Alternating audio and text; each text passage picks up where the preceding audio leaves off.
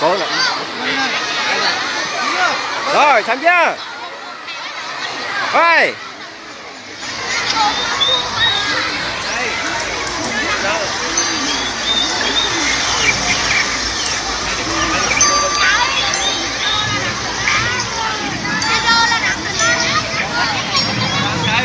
Thank you.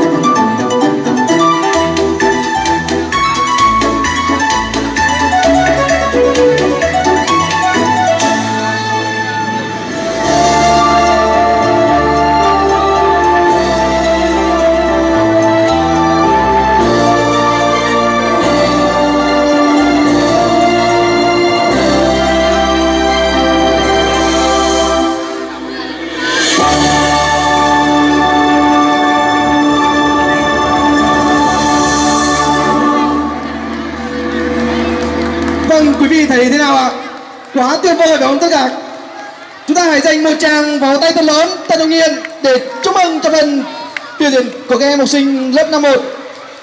kính thưa tất cả quý vị thầy cô là người luôn bên cạnh luôn nhắc nhở khuyên bảo